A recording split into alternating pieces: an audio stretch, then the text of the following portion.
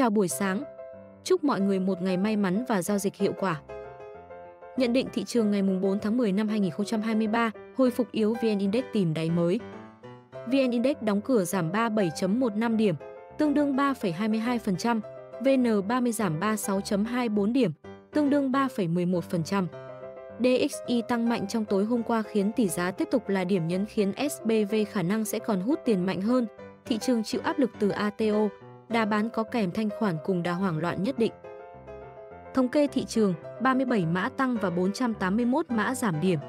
Không trụ xanh được tới cuối phiên, đầu tư công là dòng cổ phiếu duy nhất chỉ bị bán mạnh vào sát ATC, số còn lại chịu trận trong toàn bộ thời gian giao dịch.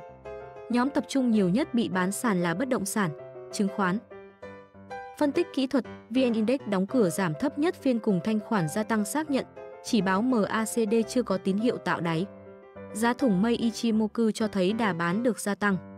Hỗ trợ hiện tại ở vùng 1.100 cùng RSI rơi về vùng quá bán.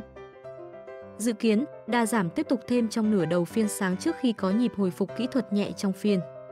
Hành động của nhà đầu tư, tỷ trọng tài khoản cao đã được lược và lọc hầu hết trong thời gian hồi phục gần đây. Kiên nhẫn và hạn chế việc bắt đáy.